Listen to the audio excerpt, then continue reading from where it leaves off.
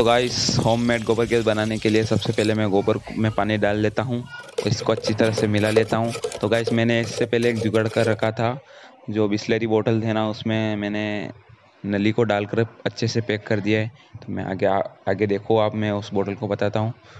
तो गाइस इसको अच्छी तरह से मिला लेते हैं। तो गाइस ये बोतल है इसके ऊपर मैंने जॉइंट अच्छी तरह से कर दिया इसमें गोबर भी डाल दिया है। तो गाइस अब इसको बनने में चार से पाँच दिन लगेंगे।